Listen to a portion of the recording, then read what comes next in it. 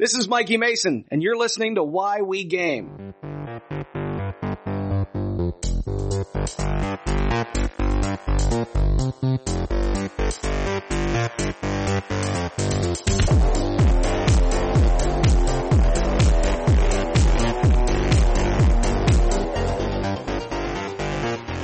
I'm Brodor, and my guest this episode is author Erin Dean. Erin, how are you?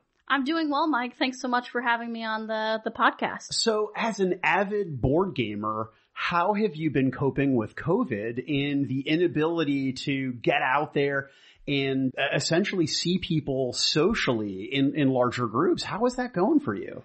Well, I'm very lucky where I have a small group that I still get together with every Friday night. Um, you know, we do keep it on the smaller side. We used to game every Monday and Wednesday at a local board game store, Miniature Market. I know you're aware of that.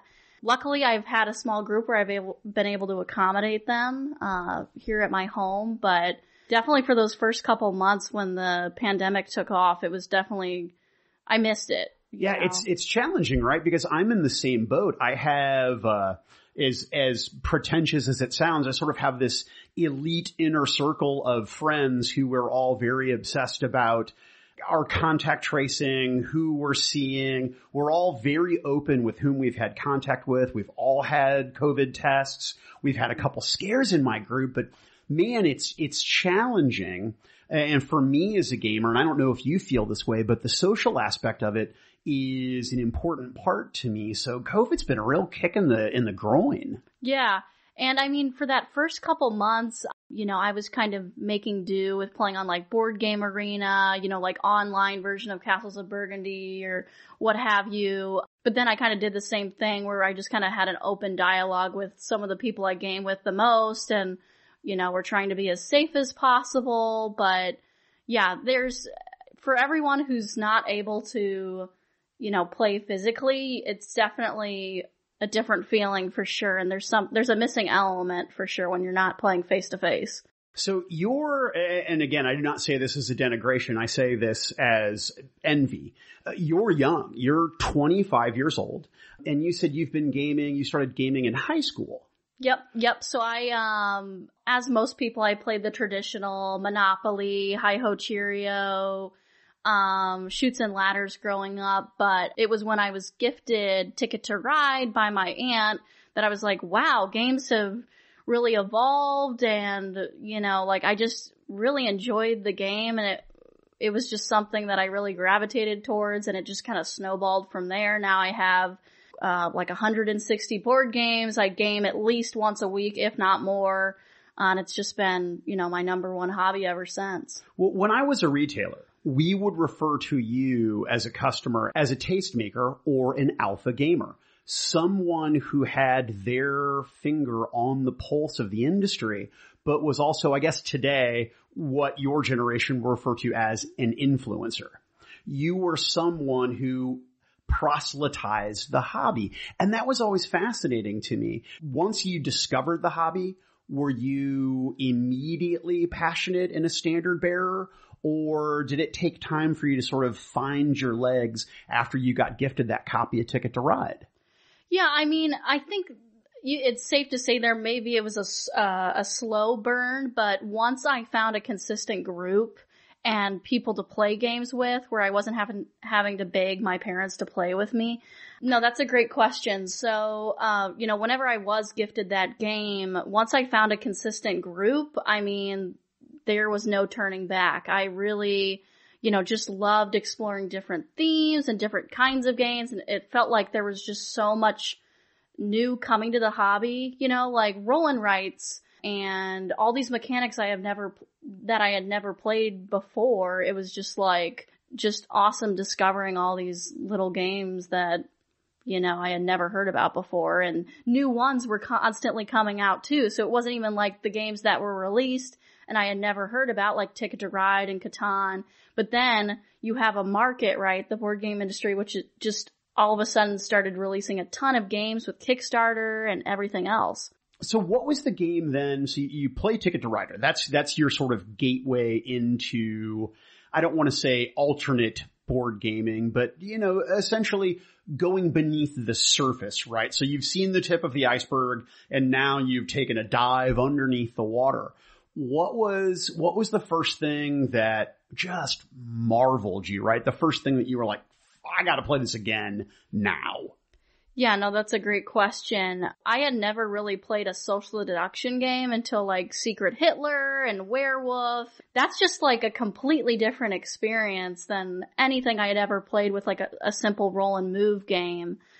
Once I experienced just that different mechanic, I mean, it was just like something I craved. Like, what's the new mechanic? What's the, a new theme I can explore? And using like tools like Board Game Geek to just go into this vortex of like, if you like this, you'll love this. If you like, you know, and it just is a never ending. So do you have a preference, right? Do you have a, a game style or a thematic that or are make up the bulk of your collection or the things that you really, really like? I would say I gravitate more towards theme than mechanics. Okay.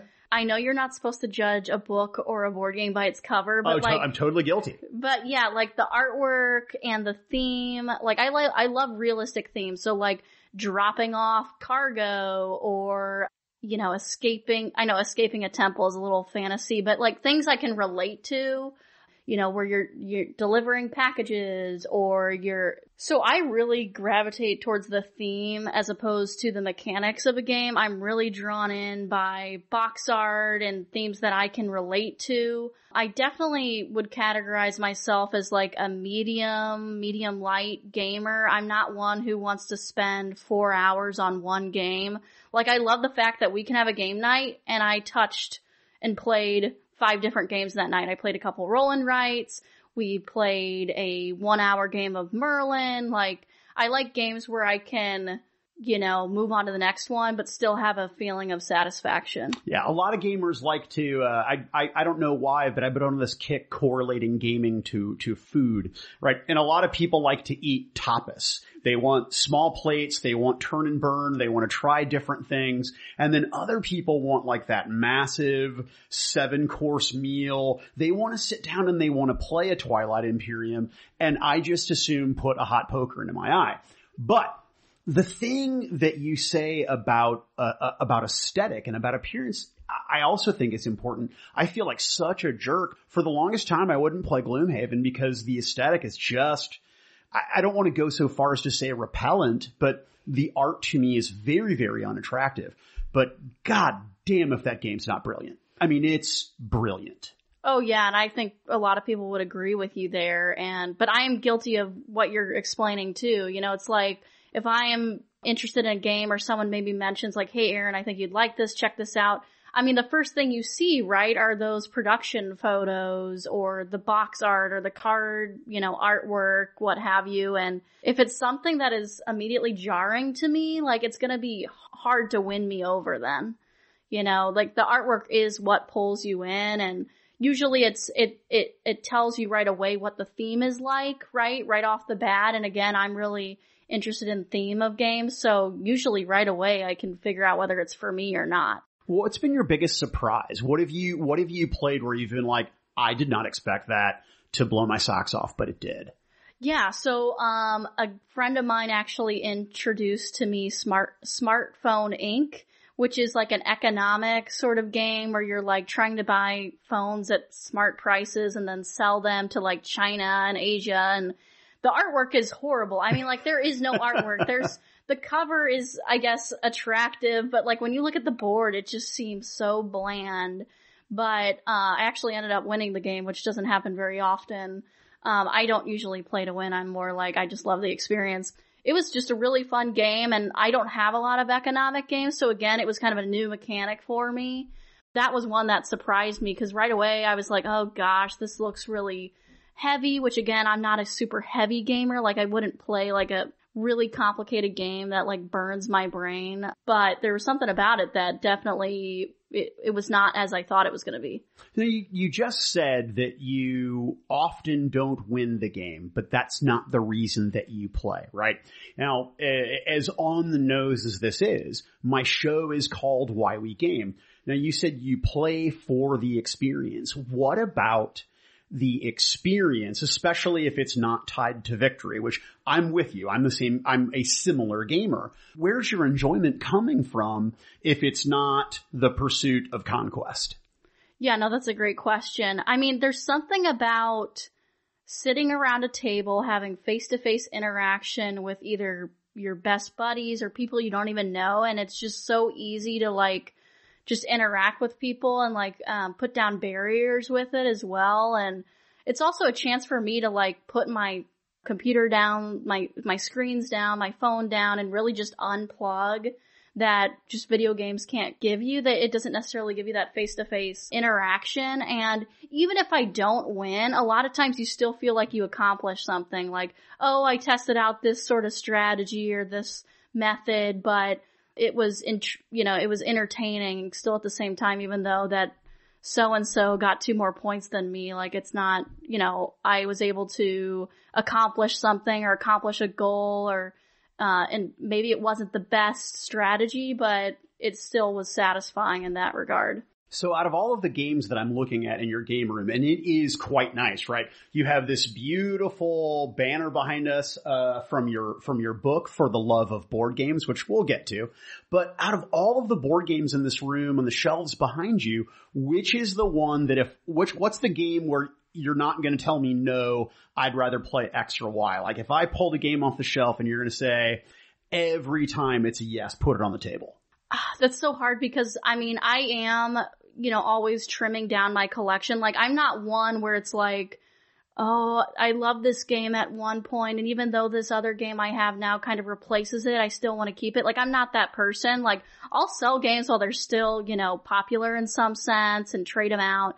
Um, so that's a hard question for me, but I mean, just one that comes right off the top of my head is Tobago. I mean, it's a game that a lot of people haven't heard of. I'm unfamiliar, so please. Yeah, yeah. So, uh, Tobago is basically a treasure hunting deduction game. If you've ever played Cryptid, it's oh, kind sure. of like reverse deduction. So like you're actually determining where the treasure is, but the production value is awesome. The artwork is great. Like it has actually these little stone, like, uh, kind of uh, Easter Island, uh, statues. And so the components are awesome. I love kind of puzzly deduction games. I have a ton of them in my collection, but it's one that is it, it's an easier barrier to entry than some other games I have. And, um, it feels different every single time I play it.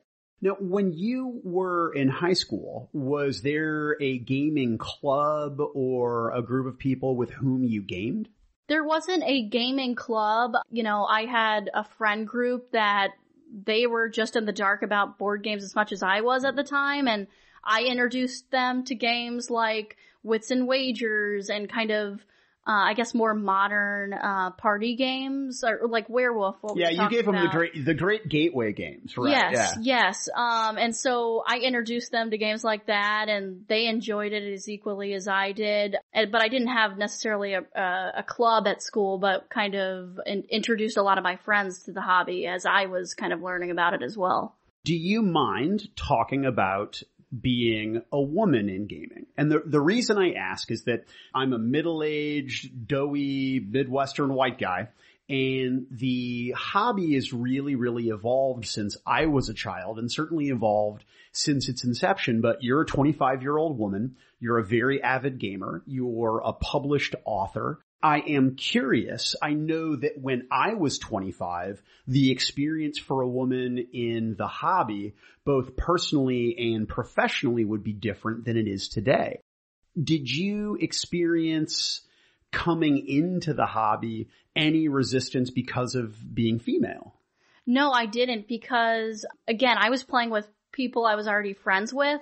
But then when I, um, you know, graduated college and was looking for a consistent group because my friends, you know, were, uh, not as close geographically and I wanted to play more than just party games, right? Like I wanted to dust off those strategy games that I was so excited to play and, you know, couldn't get my family to play. So that's when I actually started my own club, um, at a local store, miniature market, and so it wasn't really hard, you know, there wasn't any resistance because I started it and, you know, we had some consistent nights and I met, uh, a lot of different people. Um, And so it wasn't like I was walking into a club where there was always like, like established members or anything. Like I created something, the group grew and so to answer your question, no, I haven't necessarily felt any resistance. So when you when you go to a board game convention like Board Game Geek or Gen Con, uh, you're gen- you're received well. Then people don't people don't meet you with well you're a girl so you think X or Y or you're not really bona fide in this hobby. Yeah, and I'm I, I have not experienced that, but it's not to say that other females haven't. You know, I think it's pretty clear that for a long time it was a male dominated industry and there's still more males than there are females, I would say, in the hobby.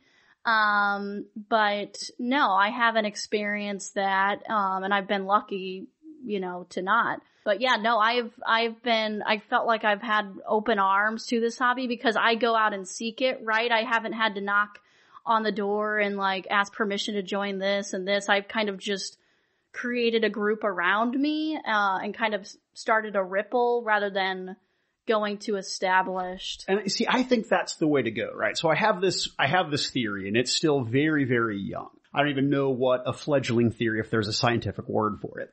But yeah, I'm a generation two gamer, right? I'm in my forties.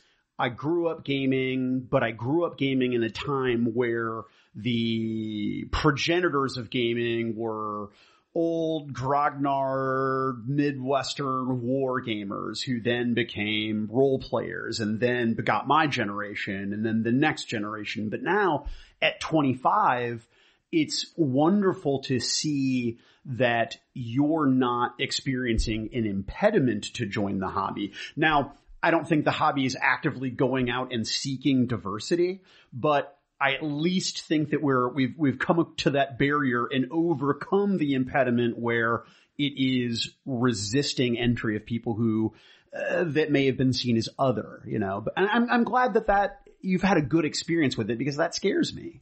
Well, and like you said, there was wargaming, then there was like D and D, like role playing. Now there's just like so many possibilities. I mean, there is a theme for everyone. There is a game for everyone, whether it's your grandma or your aunt or someone who's been gaming for 50 years but has only played the same card game, you know, over and over and over again. Like, that's the thing is like, I've never played a game of D&D. I've never played a war game, but I consider myself a gamer because, you know, I play the traditional board games, strategy games that, you know, last an hour to two hours or even just 10, 30 minutes, which is safe to say there wasn't as many options, say, 10 years ago, 20 years ago, 30, 30 years ago.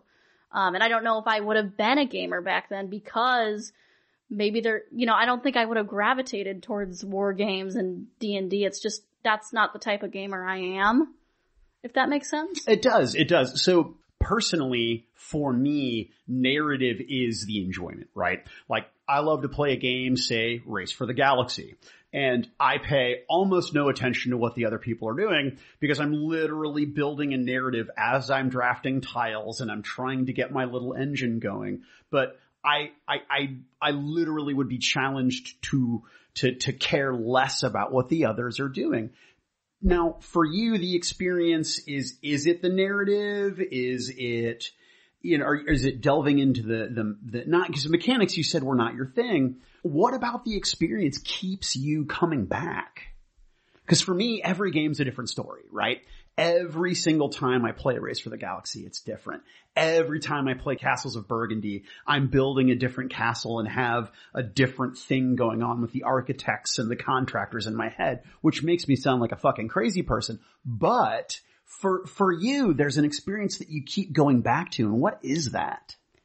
Yeah, I think I think the experience I keep going back to is, like you said, every game feels different.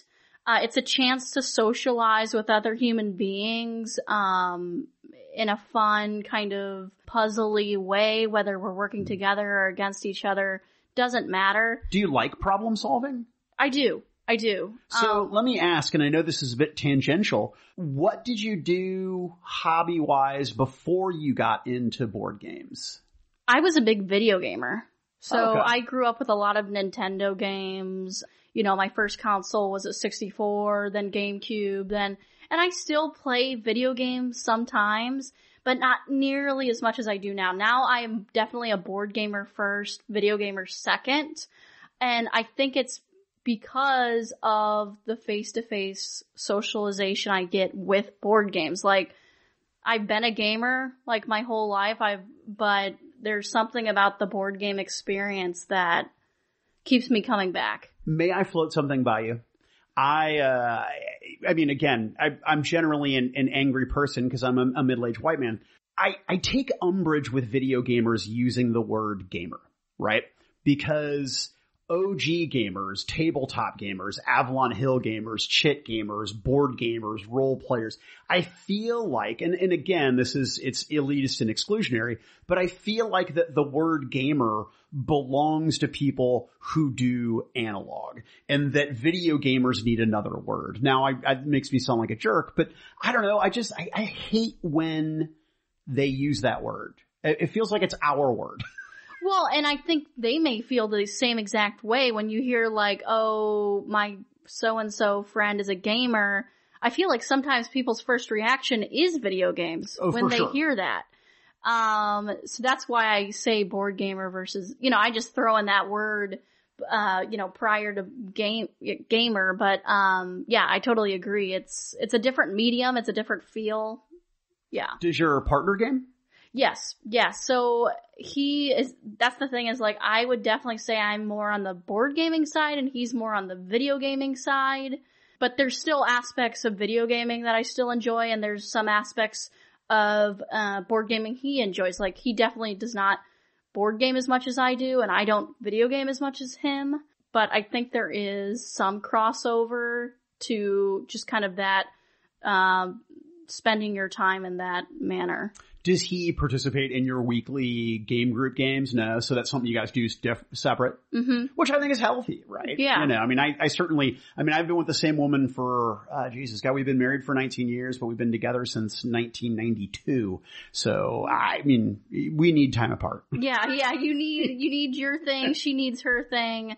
Um, no, I totally agree. I mean, it's, it's definitely something I look forward to each week to, you know, see some different faces and I work remote full time right now just given the pandemic. So it's just a great way to use my house, um, not just as a workplace, but as a entertaining thing. So, um, but yeah, no, that's a totally, it's my thing. It's something I look forward to and it's, yeah, to answer your question.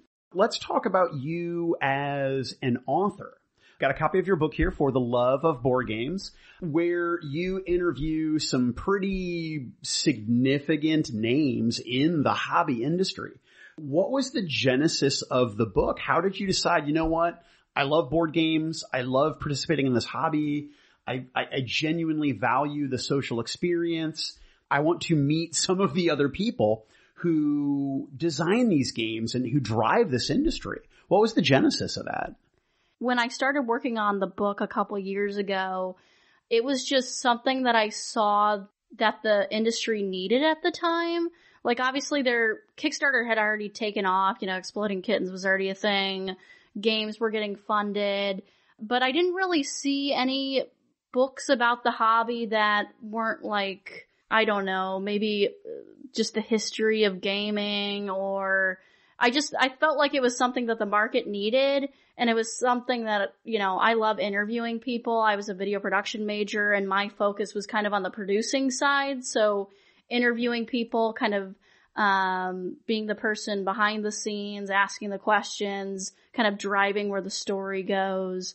Um, so not only taking my number one passion, board games, but then being able to meet and ask questions to some of the most prolific designers of our time was just something that once I thought of it, I just kind of ran with it. But you decided in your early 20s that you were going to do a book, an interview book about board games and you got people like Richard Garfield to agree to talk to you for an interview. That's amazing for somebody in general, but certainly somebody who'd never done it before and who, who was so young. So what was, What was your process like reaching out to these people? I have to say that selfishly, I'm fascinated because uh, if you've got a, a, a trick in in a thing that I can learn, that's amazing. But I mean, shit, I don't know if I have the testicular fortitude to reach out to somebody who's a big deal like Richard Garfield and say, cause I'm nobody, right? I, will you please talk to me? So that's, I mean, the, the courage,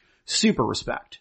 Yeah, no, it was just kind of like a mission I embarked on. Like, I, I remember creating a Google Doc way in kind of the early stages of it, like, okay, these are the designers I want to go after. And I think there was like, over 50 names. Like I, I, some of them I weren't, wasn't even necessarily aware of. It was like, oh, I love this game and this game. Oh, this came out of the same person, was designed by the same person. So I kind of tackled it that way. Here's the list. You know, do I have to go drum up their board game geek username and send them a message on there? Do I have to find their email on their publishing website? Uh, a lot of the contacts I got was I interviewed three designers and they gave me six more designers emails and you know, I just kind of had a little log and kind of just kept chipping away at you it. You just hustled. You just yeah. did the work. That's yeah. fantastic. So which one out of all the interviews in your book, which one was your biggest surprise that they agreed to talk to you? I mean, yeah, I mean, Richard Garfield was definitely a big one, as you mentioned. Reiner Knizia mm-hmm. was a big name uh, too. Yeah. That I mean, almost everyone knows him. I mean, it, he's created hundreds and hundreds of games and we actually did, and not all interviews were done via like Skype or like, um, a, a conferencing link. Some of them were just audio, but we actually got on a face to face video chat, me and him, him over in, you know, Germany or wherever the heck he is. Um, and it just felt kind of like an out of body experience. It was just really neat and, um, I was able to talk to people all over the world. You know, I even uh, contacted. Do you know the game o- Onitama? Oh yeah. Yeah. So I even was able to talk to someone and have someone translate for me. Where I just I asked them some questions and he got back to me with his translator. Like it was just so cool. Like I got. I, I literally talked to people on like almost all the continents, which is just like nuts. It was just a really cool experience. You crowdfunded via Kickstarter. Yeah, yeah. So, um, as I was kind of working on all these interviews, right, kind of the content of the book, um, I, I started building up like my mailing list and like involving others in the process as far as, hey, here's four cover ideas for the book. What do you think is the coolest? And it not even being people that had heard about it, like I just kind of gave like a, I just kind of gave a brief summary of the book, like, hey, it's going to be a book full of interviews of your favorite board game designers. Here are the covers I'm looking at. You know, I would say, hey, I interviewed these 10 designers. Which 10 more should I do? Um, and slowly I started building, you know, like a mailing list of a thousand, two thousand people to have day one of when the Kickstarter launched that people who had, you know, seen my post on different board game Facebook groups or that I talked to physically at my local board game store. So we you know, funded day one. I think my goal was like, I don't even know. It's been so long. It was less than 20,000 and we ended up at like 59k wow. at the end of it. Wow, that's fantastic. So was that stressful, um, succeeding to that degree? It was exciting. I mean, uh, no one could believe it. Like just in my, you know, family, it was just like, I was just hoping to hit that number as a lot of Kickstarter people who do Kickstarters are trying to do. And when we just kind of blew it out of the water, it was just a very humbling experience and, you know, even drove me more to just try to make it the best it could. And by that point, I had already really done all the interviews. I was working with an editor to kind of tweak some of the formatting stuff. Yeah, no, it was, it was surreal. Who did you use to publish? Yeah, so I just used kind of like uh, a self author publishing site. It's called Book Baby. Actually, one of the designers I interviewed gave me the suggestion for that site, uh, Geoff Ingles, Engelstein or Engelstein. He, um, has designed several games and he ha- himself had done some books, but more on like kind of game theory, game mechanics stuff for like beginning designers. And that's what he used for his book. So then I looked into it and got pricing and ended up just doing that. So it was self-published. behind me on the wall is some incredible art. Um, really, really beautiful. Cause you'd said something, uh, that perhaps you were going to pursue doing a second book. Do you mind talking about that? Yeah, absolutely. So after the first book, I believe it ended in like the, in a September, like late September. And then that following spring, I had the idea, okay, this, the first book went so well. What I want to do is create a board game artwork coffee table book featuring some of the best artwork we've seen in the past decade and interview some of the artists like where does you, how did you begin working in the board game industry? What, how would you describe well, your art style? Forgive me for sounding pandering, but that's a wonderful idea. And the artwork, who's the artist again? Uh, so the the picture you're referring to on the wall um, was going to be the cover of this second book, and it's by Andrew Bosley, who's an up and coming uh, board game artist. He's done Everdell, countless other games. He's really making a splash. Yeah, no, it's it is truly, and I'm assuming that's the original. Yes. That's spectacular. Yes. I, I have great envy that, that, that art is beautiful. So anyway, so you were talking about doing a coffee table art book and I think it's a great idea. I think there's a tremendous amount of just spectacular art out there. Where are you at on that project?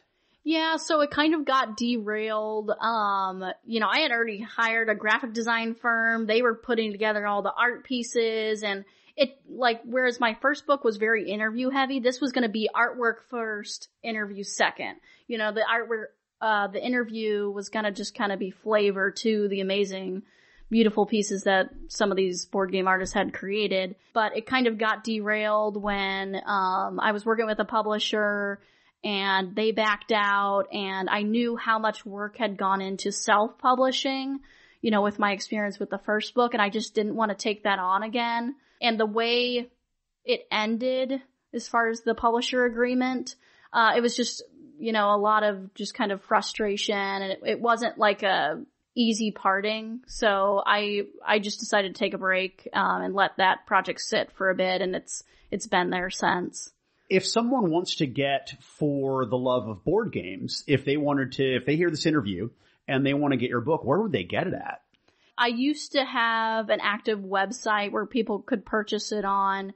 Um, nowadays I still do have copies. I haven't done like additional print runs or anything. So I think you can get it on like Amazon and miniaturemarket.com. But if you would want to buy it directly from me, you could just shoot me an email, um, at erindean100 at yahoo.com. Uh, which I don't know if you can put in the show notes. Yeah, absolutely. Yeah, that would be the best way. Perfect. And give that to me one more time. Erin Dean 100 at yahoo.com. And that's, that is E-R-I-N-D-E-A-N 100 dot com. Perfect. Yeah. 100 at yahoo.com. At yahoo.com. Yes. All right. Well, there we go. So I totally, I, I crapped no, the bed there. No. you're good. You're good. Let's transition. Then you said you worked for Genius Games and Lucky Duck Games as well?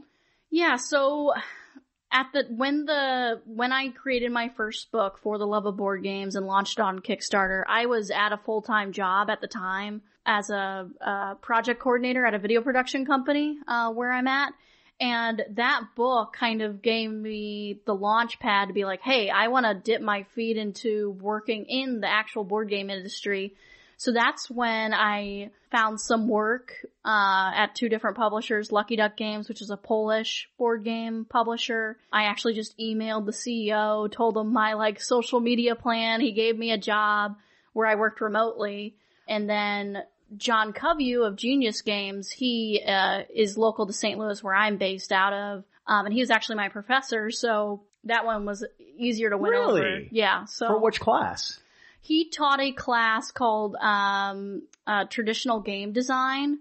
There is a game design program that leans more towards uh, video games at uh, Webster University, and he taught a board game design class. I was one of his students, and we literally just played board games. All I'm like, sign me up. That's easy three credit hours where I get to game, you know. So that's how I met him. So how was the how was the design class? What was that like? Yeah, so the kind of early stages of the class, we just learned different mechanics, which I was already familiar with at that point. We played like games like Stone Age and Catan and Three Rooms and a Boom and all these different games that, you know, kind of showcase different mechanics that board games can have. And then we spent, um, kind of the last half of the class creating our own game. So would you reverse engineer games to, to sort of break down how their mechanics work? And that's fascinating. Yeah, no, you're right. I would love note. to audit that. Yeah, yeah, no, that, that's exactly what it was. I mean, we, we picked apart what, what made the game special, what, made it unique, all the, yeah. Well, let me put a pin in design for now. What did you do when you were at Genius Games? Yeah, so I helped John with, um, some social media stuff, just different odds and ends he needed help with, with production process. I helped him like, with some playtesting stuff, just a, a little bit of everything. I wasn't there super long, but you know, they're based out of St. Louis where I'm at, so it was a chance for me to because uh, I was just working part time at Lucky Duck Games, so it was a way for me to get kind of additional money and additional hours in the industry. Do you have aspirations to become a game designer yourself? That is not something I think I would pursue. It's something that you know, hats off to the people who can make it uh, their living. It's something I've fiddled with before. Um, I was kind of tinkering around with uh, a music board game called Face the Music, where you'd basically draft different note tiles and the cool thing about it was gonna, you know, you can, there's apps today that you can scan sheet music. So at the end of the game, you would literally create a song and like scan it and like hear the music you actually created. So that was kind of what I was fiddling around with and play tested with some people. But you don't have a desire to, to do that aspect of it professionally. Would you be happy uh, doing books about board gamings? I mean, I mean, do you want to, do you want to see the second book come to fruition? I think just because of how the project came to a halt, you know, it, it's, it's just been something I haven't wanted to pick up just yet. I'm not to say, I, cause I still think it's an amazing idea. I still think it'd be so cool for the hobby to have, but it was just, it was just kind of like it happened, or it ended rather, and I just kind of took a step back like, this isn't meant to be at this time and I'm just going to let it breathe. Okay. If you could have more impact on the industry as a professional, what would, I mean, so Erin Dean's got a magic wand. Whatever, whatever job you want in the gaming industry exists. You've created it. You're going to fill it. What would that be?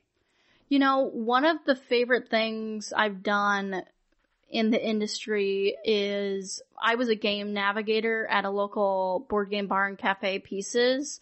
And I almost like if I could make a living from it, if I could literally be a librarian, librarian where all it was my job was to suggest games to people and like, you know, uh, build up a collection and like, run cl- local school club. Like that would be awesome. Like introducing people to the hobby just for a living would be amazing. All right. Well, now I'm going to put you on the spot. So please forgive me, but correct me if I'm wrong, but didn't you have an idea that you floated some time ago about a museum? Yeah, yeah, oh my gosh. Cause that, I mean, that's, that's the coolest fucking thing I've ever heard, right? Yeah. The only thing that would make me make it the perfect idea is that if just like facets of the hobby, there were different wings or avenues, rooms of said museum dedicated to here's board gaming, here's collectible card gaming. This is the time when collectible card gaming transitioned into living card games. You know, that, I would love it.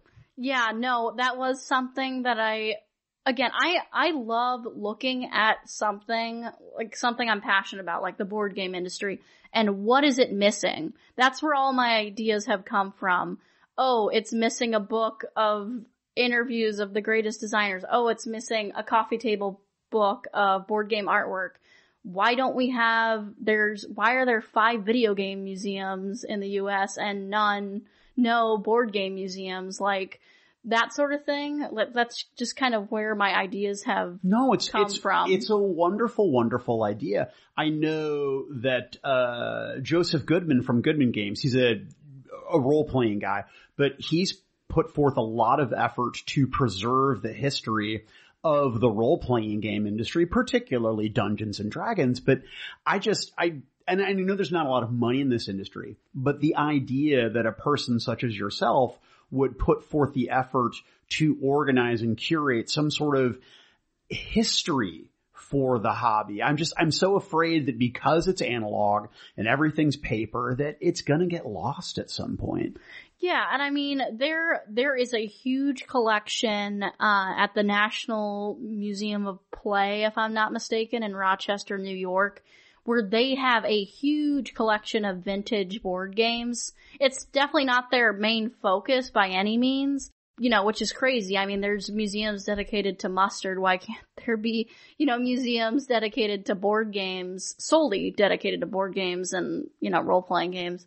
But I, I, I, share that fear, right? Cause board games are physical and, you know, it, someone's gotta preserve it. Some, someone's gotta take that, you know, initiative. I have this fantasy that I wish some, you know, crazy billionaire would just, you know, come into the gaming industry and say, Hey, I just want to preserve some Willy Wonka type nut bag and just dump money into it. Exactly. I mean, that, uh, that's the thing is with a museum, they're, they're, I mean, it's just, you need so much money. It's crazy. But yeah, no, I, I, I think that'd be great if someone came in and had the, had the money to drive that initiative. When you were writing your book, what was your what was your discipline like? What, what was your schedule like? Did you set aside time every day where I am going to, you know, two hours every day after dinner, I'm gonna write? Yeah, so the way the book is structured, it was mainly interviews, so it wasn't like a ton of like, you know, like a, what a non, uh, you know, or like a, what a fiction book would require, for example. Right. It's basically taking what we're doing and putting it to print. Exactly. So, uh, when I started working on the book, I was actually a full-time student. So again, kind of my attack plan was here are the designers I want to go after. And all of them were in different stages, right? Where I've made contact, we've scheduled an interview. Okay, we've, we've done the interview. Now I need to translate it into text. Like all of you know, there was certain parts or certain designers that were at different stages. So really it was just, I, I didn't necessarily set aside specific time each week, but I was definitely moving towards just progress every single day. How long did it take you from conception to completion? I think it was like a semester. Like That's it? Yeah, wow. yeah. Well, and a lot of it, I mean, the interview, the contents of the book itself, I mean, that it probably took a semester, but then there's, we edited the book after it was funded. So that took additional resources and all of that, but like the heart of the book was created in just the span of like five, six months. Did you make money from the pro, from the project? Yeah, I did. Um, now, see, that's the way, that's the way to go, right? Mm-hmm. Is to, I mean, to, if you're going to do it and truly be professional, right? You want to make a product that consumers purchase and you want to have a little, uh, a little bit of profit at the end of the day. Yeah, no, there was some profit, um, but obviously the majority of the funds went towards the actual printing and shipping of the books. I mean, that took a huge chunk of it. So that, I think shipping and fulfillment is probably at least was the largest mistake that people made. Um, can we talk about the Kickstarter process and how that went for you? Yeah, of course. Because I'm curious. I've never done a Kickstarter.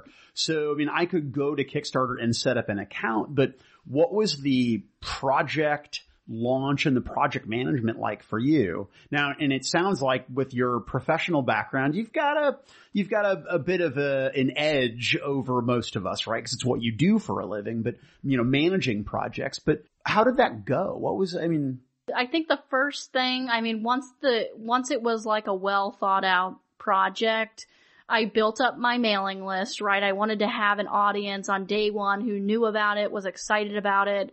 So kind of just the marketing and spreading the word, um, actually building the Kickstarter page. So all the graphics and creating the Kickstarter video. We did do some like promotional images where we took some of the most prolific designers and turned them into characters of their most popular games. So like Richard Garfield as a Magic the Gathering character or Jamie Stegmaier as one of the, the vineyard, you know, uh, family members or what have you. So we did that. Then it's just, you know, getting to the funding goal and releasing updates and stretch goals. What did you do for stretch goals? We, I mean, with a with a book, that's challenging, right?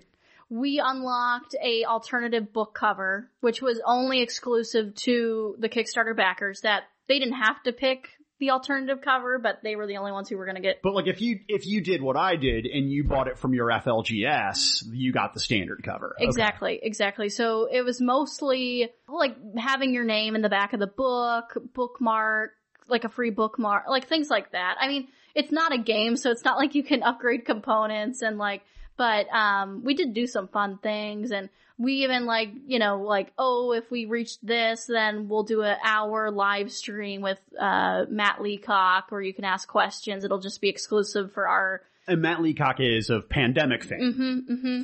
Yeah, so things like that was kind of the, while the Kickstarter was running, and then it became like, okay, we need to make, cause, you know, you, you obviously set a kind of like suggested when it's gonna deliver to the backers.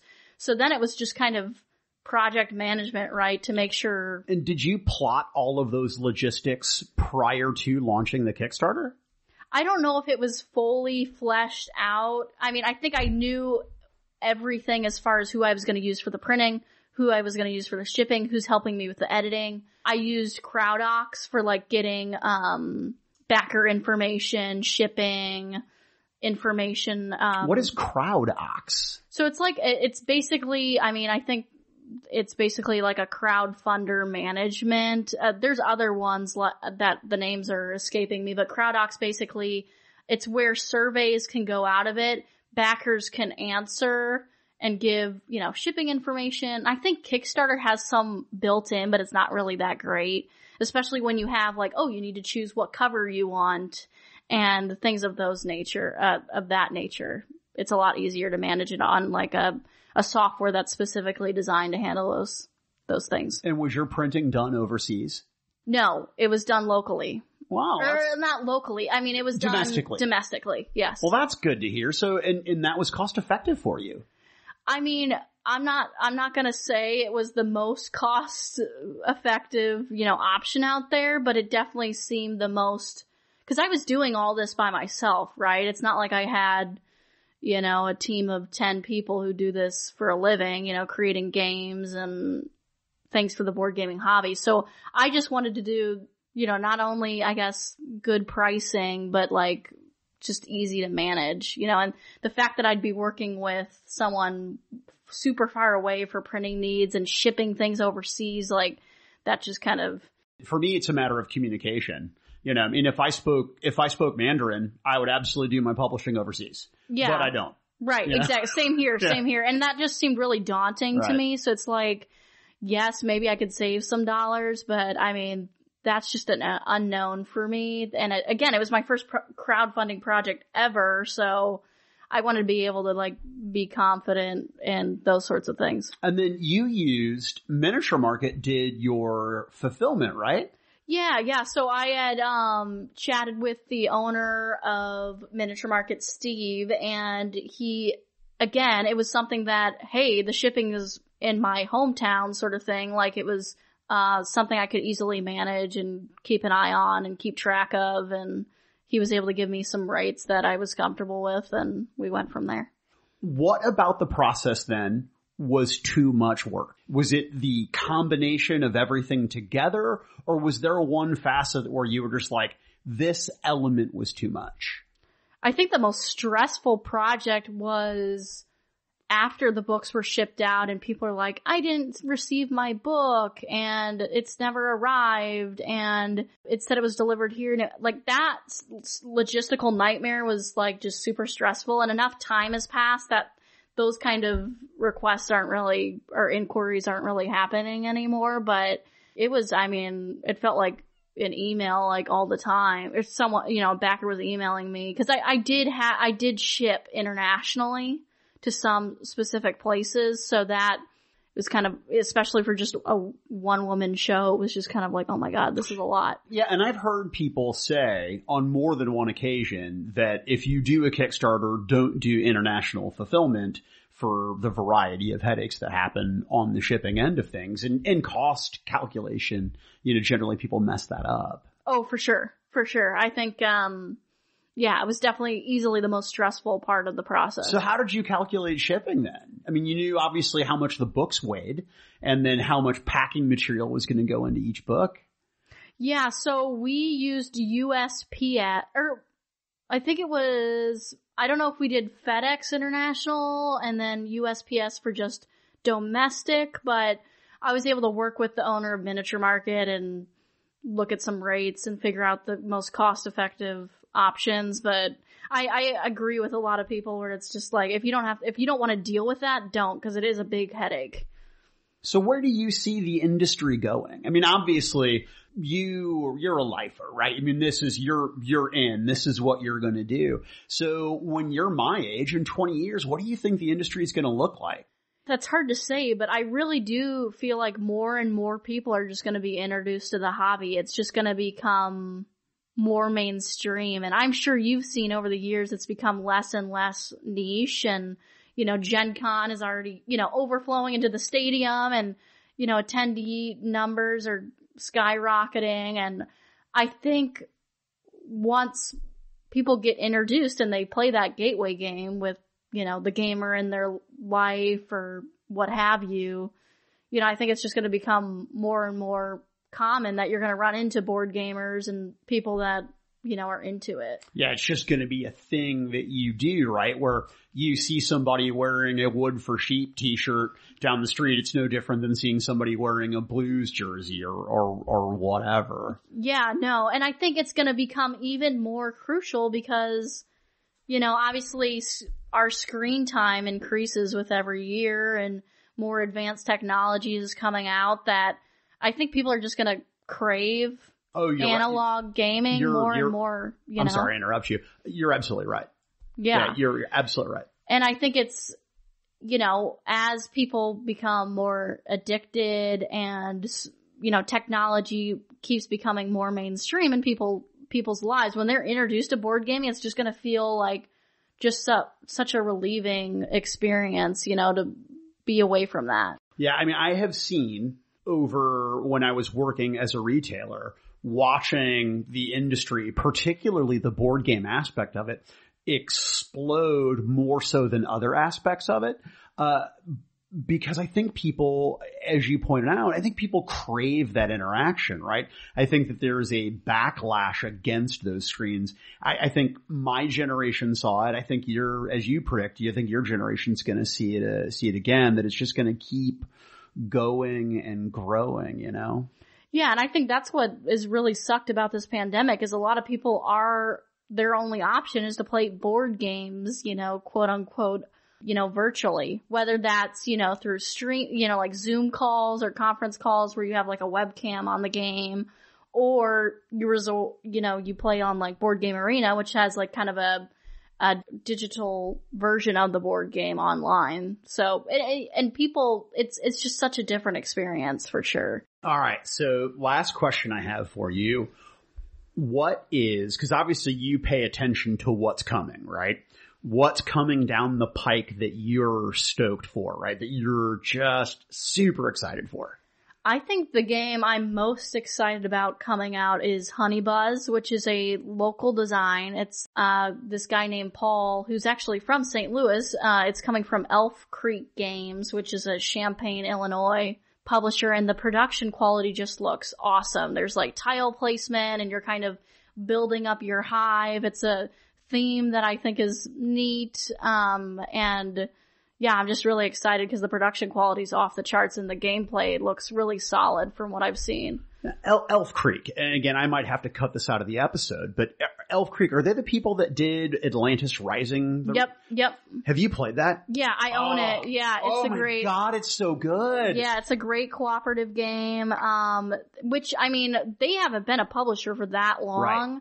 I had no idea they were in Illinois. Yeah, Well, that's a hot that's a hot tip, Erin. Thank you because I'm going to reach out to them. I didn't realize they were within driving distance. Yeah, no, they're in Champaign and they only have a few games under their belt, but every game they've put out so far, I mean, the production quality and just the gameplay quality is like off, off the charts. Gotcha. So so Honey Buzz, what's our what's our theme there?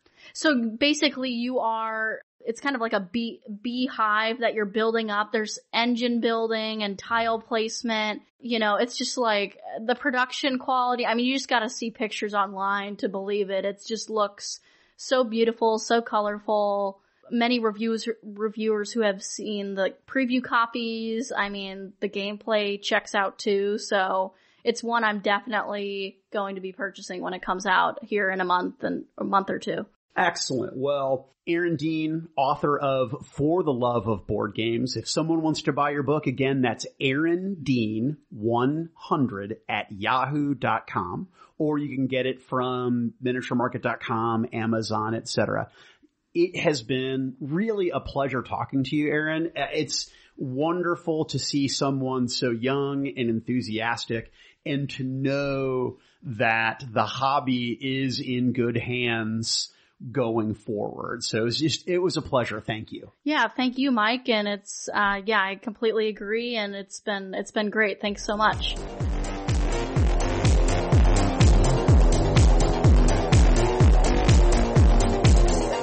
Why We Game is a production of the Influence Foundation. All rights reserved. Audio editing by Brodor. Music by Owen Godwin.